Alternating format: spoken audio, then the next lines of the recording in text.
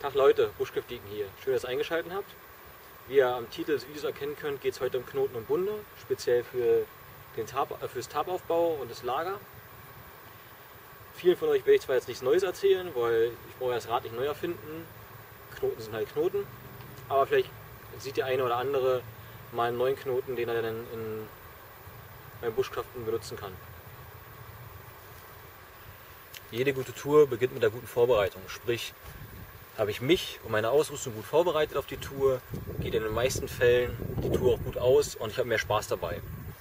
Was ich damit sagen will, äh, um aufs Tab oder auf den Lagerbau zurückzukommen, bereite ich mein Tab schon irgendwie vor. Sprich, mache ich die Schnur schon an den bekannten Ecken schon fest, sodass ich, wenn ich es dann raushole, einfach nur zack loslegen kann. Oder nehme ich die Schnur extra mit, also separat und nicht festgemacht, um halt ein bisschen äh, modularer dazustehen. Äh, da zu stehen. Muss jeder für sich selber entscheiden. Also ich nehme so meistens extra mit, also separat, weil ich jetzt mehrere Tabs habe und so dann auch individuell entscheiden kann, okay, wo mache ich es ran und ja, ist dann halt einfacher. Jedoch, wenn ich weiß, ich habe keine Zeit oder ich bin jetzt irgendwie ja, auf einer irgendwelcher Durchschlageübung oder so, dann macht es natürlich Sinn, die Sachen schon fertig dran zu machen, wie zum Beispiel am Poncho oder so, dass ich den Poncho rausziehe, habe die Ecken, sind da schon Schnüre dran, Abspann fertig und äh, kann mich um andere Sachen kümmern. Aber wie gesagt, muss jeder für sich selber entscheiden. Um jetzt mal auf die Schnur zurückzukommen, habe ich einen guten Trick vom äh, Kumpel gekriegt, wie man sie super äh, transportieren kann. So natürlich nicht. Ich nehme jetzt das Ende, komme ein Stück näher. Das Ende, macht, jeder kennt ja wahrscheinlich den normalen Knoten hier. Der Sackstich. Wenn man den doppelt macht,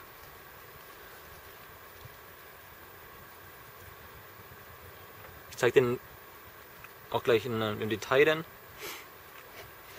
Kennt ja jeder, nennt sich Sackstich in Tropfenform. Das ist so der Anfang. Und jetzt man kann auch andere Schlaufen machen, wie man möchte. Wickel ich halt das einfach um, meine Hand, um meine Finger. Habe das einfach um meine Finger gewickelt, bis ich ungefähr, ja, sag mal, einen Meter über habe. Also muss man je nachdem, wie lang das Knäuel ist, also ich kann es natürlich auch um andere Sachen wickeln. Lasse ich halt ein Stück über, ziehe das ab,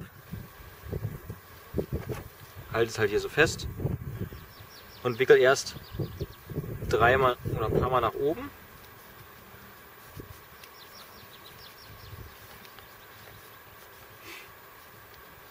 So, um dann wieder nach unten zu wickeln.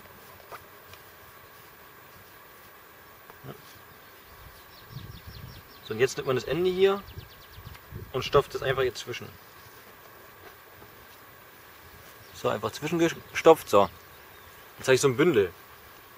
Und das ist super zum Transportieren, weil wenn ich jetzt die Schnur brauche, greife ich einfach nur, nehme die Schlaufe und ziehe es raus. Ganz einfach. Zack. Ohne großes Geknote oder so. Also ich finde es super. Vielleicht ja für den einen oder anderen was Neues, so seine Schnur zu transportieren.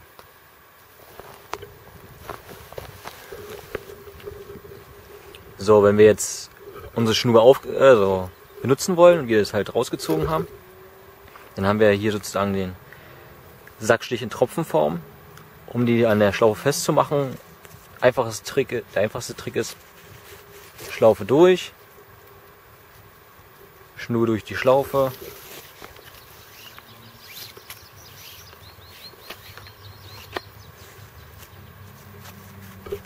Ja, machen wir noch ein bisschen schön hier. Zurückführen.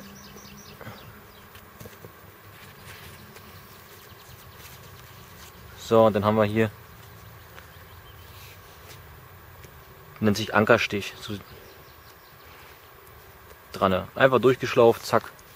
Und das Tab ist auch dran. So könnte man es auch transportieren. Also man hat die Schnur vorbereitet, hat schon äh, hat einen Sackstich in Tropfenform gemacht, mittels einen Ankerstich hier festgemacht und schmeißt alles so in, in, in den Sack für, fürs Tab.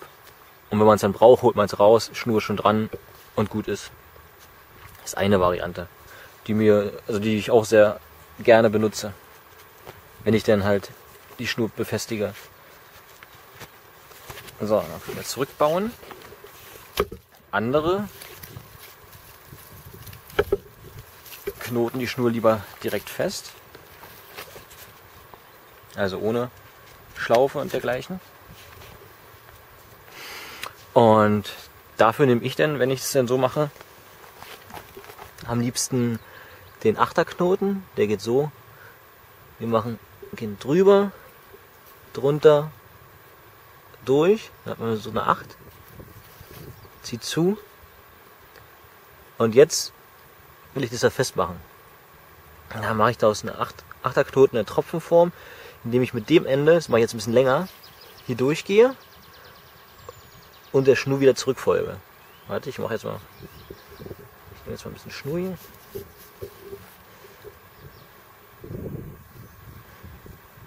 So, ich gehe hier durch und folge sozusagen meinen Weg zurück. Ganz einfach. Der erste Weg zurück. Zweiter. Jetzt bin ich hier auch wieder doppelt. Und dann wieder zurück. Und dann sieht man, ich habe einen doppelten Achter. Oder einen Achterknoten in Tropfenform. Die Schnur ist dran. Und so.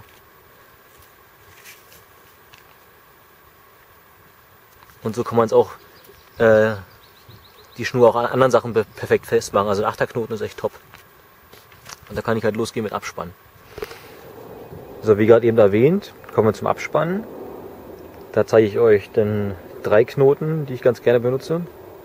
Das ist dann, wie gesagt, einmal der Ankerstich mit einem Stöckchen drinne, um halt entgegen der Zugrichtung, also hier lang ziehe ich, mein Tab äh, zu fixieren und zu straffen. Das habe ich einmal hier an der Seite und einmal an der gegenüberliegenden. Einfach aus dem Grund, ich hätte es auch nur an einer Seite machen können, aber dann kann es passieren, dass das Tab hin und her, also, ich, also nach links bewegt. Darum habe ich es einmal da festgemacht. Und hier vorne. Und ich habe halt kein Spiel mehr. Also das Tab bleibt da, wo die Stöckchen fest sind, äh, auf der Stelle.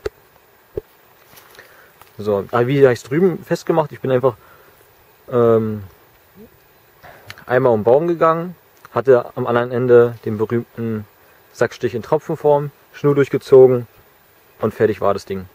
Somit bin ich mit dem anderen Ende hier durch die Schlaufen gegangen, vorher Stöckchen einge, äh, festgemacht und äh, fertig war das Ding. Da kommt der nächste Knoten, den habe ich noch nicht vorgestellt. Den auch erst, weiß ich auch erst seit kurzem, durch einen kleinen Lehrgang sozusagen. Das ist hier die, äh, der Schlaufknoten, glaube ich, nennt sich der einfach nur. Damit kann ich in, einen, in einer Schnur, wo beide Enden fest sind, beziehungsweise äh, benötigt werden, mittendrin eine Schlaufe erzeugen. Ganz wichtig ist dabei, einen Stock durchzuschlaufen, sonst würde sich der Knoten zu fest ziehen durch die Belastung und wir kriegen ihn, na, ich will nicht sagen, nicht nie wieder auf, aber es wird sehr schwer, ihn aufzumachen. Deswegen immer ein Stöckchen rein und gut ist.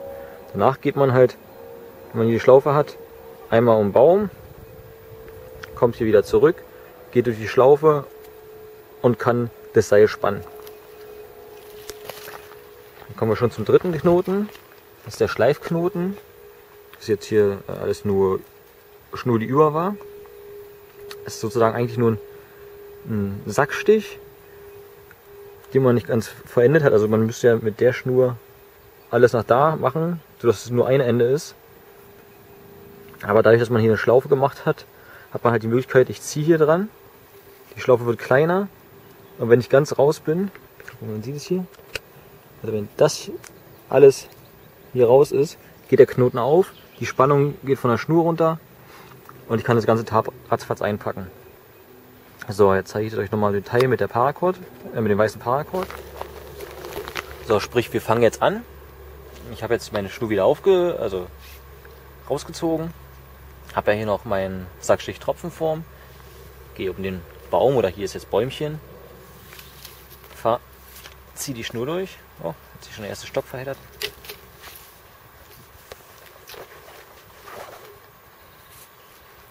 Und habe schon sozusagen, hier sieht man es, meinen ersten, also meinen ersten Befestigungspunkt. So, möchte ich jetzt äh, den Ankerstich machen und das Tab da, also fixieren, mache ich ganz einfach. Ich mache sozusagen ein Auge und lege das drüber. Einfach so. So drüber. Wenn ich jetzt ein Stöckchen nehme, hier durchgehe und zuziehe,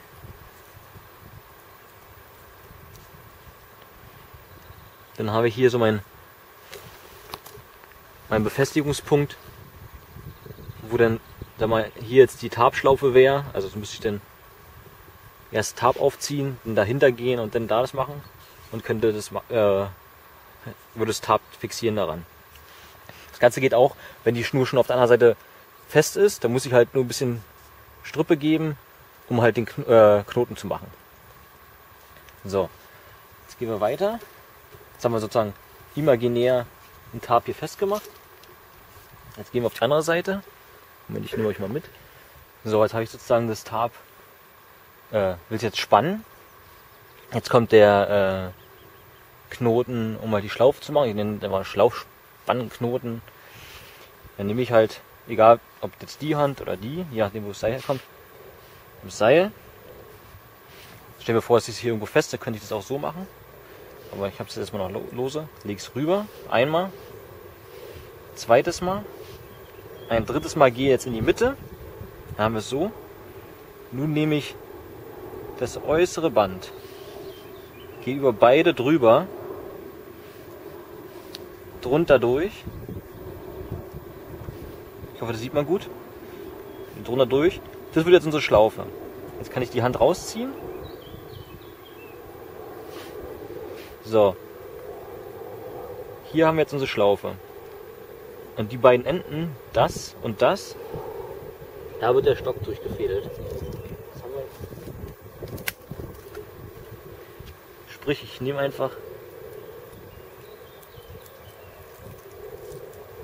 die beiden Enden, wo der, und wo die Schlaufe, also hier ist ja die Schlaufe und die beiden Enden und ziehe den Stock hier durch. Dann komm her.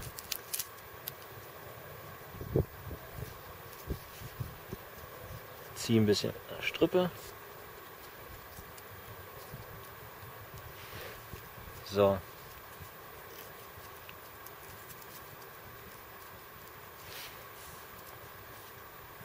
Nicht schön, aber selten.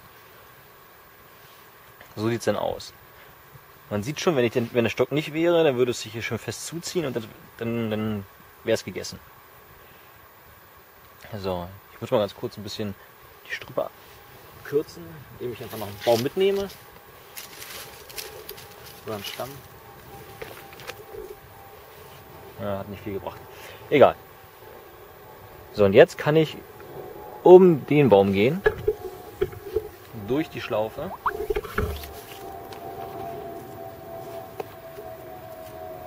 Und das Ganze spannen. So, ich baue noch mal kurz um um euch das besser zu zeigen. Und dann kommen wir zum Schleifknoten, den letzten. So, ich habe nochmal umgebaut, damit man es hier sieht, weil hier wird der Knoten dann sein. Ich bin jetzt durch die Schlaufe gegangen, kann jetzt hier richtig schön abspannen. Nehme jetzt das Ende, gehe oben drüber, also die Schlaufe, das ist die Schlaufe, die später entsteht, gehe oben drüber, unter beiden durch und jetzt hier das Loch, das sich hier bildet, da wieder durch. So. Und jetzt muss ich es schön nah festmachen. Jetzt dreht sich das alles noch ein bisschen. Am Stamm. Weil der Stamm oder das, das Teil, wo ich es halt äh, befestige, der stoppt auch mal den Knoten. Wenn es hier ist, dann kann es sein, dass er ab und zu immer wieder mal ein bisschen rutscht und so die Spannung verliert. Aber wenn ich das hier schön festmache, dann passiert hier gar nichts. So. Bei der guten alten Buntewehr sagt man dann, dass äh, die, die, die restliche Schnur, das ist dann die Schlei äh, das schleifende Ende, soll man dann hier einfach drauflegen oder halt mit runterklemmen. Damit, wenn man dann das Eis abbauen will, einfach es nimmt. Ich drehe es mal wieder ein bisschen. So. Wenn ich jetzt hier ziehe, wird die Schlaufe immer kleiner. Upp, der Knoten ist weg. Die Spannung ist auch weg. Und ich kann mein ganzes Geraffel schnell, äh, das Tab, also hier schnell durchfädeln und das Tab wegnehmen und auf geht's. So, zu guter Letzt noch ein kleines Gimmick, was ich glaube ich schon mal vorgestellt habe, aber doppelt hält besser. Wenn ihr nicht wisst, wohin mit eurer Ausrüstung, sagen wir mal, es auch vielleicht nass, regnet und so, und ihr seid auch am Tab aufbauen oder am Zelt aufbauen und wollt die Sachen nicht in Dreck schmeißen, empfehle ich euch, besorgt euch einen einfachen Karabiner, muss jetzt hier nicht so ein taktischer Karabiner von ITW Nexus sein, reicht ein normaler vom Baumarkt. Nimmt ein bisschen Restschnur oder halt wie bei mir einen alten Schnürsenkel, ca. 1,50, 1,80 lang. Den Schnürsenkel macht er an den Enden zusammen mit einem Sackstich oder einem anderen Knoten und somit habt ihr einen super ja, Hilfsmittel, um euren Rucksack irgendwo festzumachen oder die Ausrüstung. Ich kann den doppelt nehmen, einfach durch die Schlaufe mit dem, mit dem Karabiner und daran meinen Rucksack festmachen, meine Jacke, wie auch immer. Oder wie hier, weil der Baumstamm zu dick war, um es doppelt zu nehmen. Den Knoten vorher aufmachen, einen Sackstich mit beiden Enden machen und dadurch, äh, kurz bevor ihr den Knoten zuzieht, einen Stock durch. Jetzt kann ich nämlich, wenn ich das Gewicht vom Rucksack runternehme oder den Rucksack äh, von, von der, vom Karabiner runternehme, dann ist hier nicht mehr so viel Spannung drauf. Ich kann den, das Stöckchen ziehen, kriege den Knoten super leicht auf und kann meiner Wege gehen. Also nur so als kleiner Tipp für den einen oder anderen sicherlich ganz nützlich. Jetzt zum Ende noch schnell noch ein kleiner Nachbrenner. Wenn ich jetzt hier meinen Sackstich in Tropfenform habe oder halt einfach meine, meine Schlaufe, die ich um den Baum lege und ich jetzt nicht vorhab, die ganze Schnur hier durchzufädeln, um es abzuspannen, weil es ja auch voll äh, nervig ist bei 15 Meter und mehr, reicht es, wenn ich die halt schon ein bisschen straff nehme, hier das andere Ende, nur eine Schlaufe durchzufädeln, dadurch einen Stock oder an was anderes. Und damit habe ich das, kann ich das schon alles abspannen. Sprich, ich muss nicht die ganze Schnur durchfädeln, sondern es reicht. Am anderen Ende ist halt, sind da die 15 Meter, liegen irgendwo rum. Ich gehe mit dem Ende mit der Schlaufe um den Baum, schnapp mir ein Stück äh, eine Schlaufe von der Schnur, fädel den Stock durch und kann damit abspannen. Und wenn ich es abbauen will, ziehe ich einfach den Stock raus. Zack. Und ich habe das Ende vom Baum gelöst. So, das noch nur als kleiner Nachbrenner. So, das war es jetzt zu den Knoten und Bunden, die ich euch zeigen wollte, speziell im Tab- und Lageraufbau. Ich hoffe, der ein oder andere hat was mitgenommen, also einen Knoten, neuen Knoten kennengelernt. Und für die anderen war es dann halt eine kleine äh, Auffrischung von den Knoten, die sie schon kannten. Wenn ihr Fragen habt oder Wünsche, Anträge, alles einfach unten in die Kommentare oder als PN schreiben versuche äh, alle Fragen zu beantworten. Und ja, bis bald im Wald, euer Buschkraft liegen.